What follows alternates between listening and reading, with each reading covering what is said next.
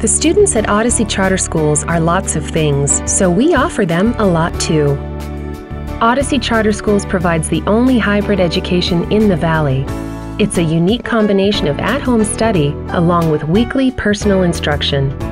Sponsored by the Clark County School District, Odyssey is tuition free, with K 12 programs for students who are also so much more. Visit us online or in person today.